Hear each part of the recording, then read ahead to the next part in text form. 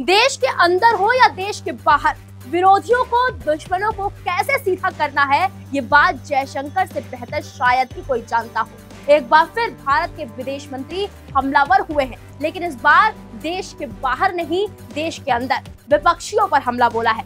दरअसल G twenty शिखर सम्मेलन के निमंत्रण पत्र पर प्रेसिडेंट ऑफ़ इंडिया के स्थान पर प्रेसिडेंट ऑफ़ भारत लिखे जाने पर विपक्ष बौखला गया है। इन सब के बीच सबसे पहले कांग्रेस ने ही आपत्ति दर्ज कराई। तो अन्य विपक्षी दल भी ये कहते हुए हमलावर हो गए कि भाजपा विपक्षी गठबंधन के नाम I N D I A यानी कि Indian National Development Inclusive Alliance से डर गई है। बल्कि ये भी कहा कि सरकार देश का नाम बदलने जा रही है। वहीं कांग्रेस के वरिष्ठ नेता जयराम रमेश ने उस कार्ड की प्रति सार्वजनिक करते हुए सबसे पहले आपत्ति जलाई उन्होंने एक्स पर पोस्ट किया, ये खबर वाकई सच है। राष्ट्रपति भवन ने 9 सितंबर को जी ट्वेंटी रात्रि भोज के लिए जो निमंत्रण पत्र भेजा है, उसे प्रेसिडेंट ऑफ़ इंडिया की जगह प्रेसिडेंट ऑफ़ भारत लिखा है।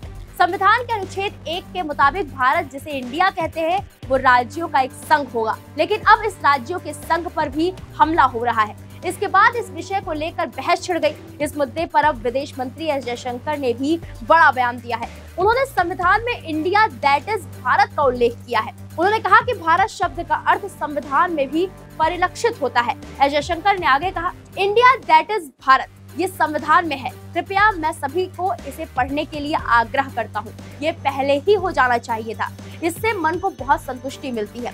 भारत हमारा परिचय है, हमें इस पर गर्व है। राष्ट्रपति ने भारत को प्राथमिकता दी है। यह औपनिवेशिक मानसिकता से बाहर आने वाला सबसे बड़ा बयान है। बता दें कि इंडिया का नाम बदलकर भारत किए जाने वाले मुद्दे पर भाजपा के कई नेताओं ने अपनी अपनी प्रतिक्रिया दी। केंद्रीय मंत्री धर्मेंद्र प्रधान ने एक्स पर राष्ट्रपति की ओर से रात्रि भोज के निमंत्रण की, एक तस्वीर पोस्ट की और राष्ट्रगान की कुछ पंक्तियाँ लिखी। वहीं असम के मुख्यमंत्री हेमंत बिस्वा शर्मा ने भी ये दावा किया कि हर राज्य के लोग चाहते हैं कि देश को भारत के नाम से जाना जाए। जब तक सूर्य और चंद्रमा रहेंगे, हमारा देश भारत के नाम से जाना जाएगा। सीएम हिमंता बिस्वा शर्मा ने यह भी आरोप लगाया कि विपक्षी दल हिंदू धर्म और भारत नाम को खत्म करने की साजिश रच रहा है। उन्होंने दावा किया, भारत उतना ही पुराना है जितना सूर्य और चंद्रमा। जब तक सूर्य और चंद्रमा अस्तित्व में है, तब तक भारत अस्तित्व में रहेगा। हर राज्य और वहाँ के लोग चाहते हैं कि देश को भारत के नाम से जाना जाए। भारत को लेकर जयशंकर की दो टूक पर आपकी क्या राय है, हमें कमेंट बॉक्स में जाए और ज़रूर बताएँ। वीके न्यूज़, राष्ट्र के नाम।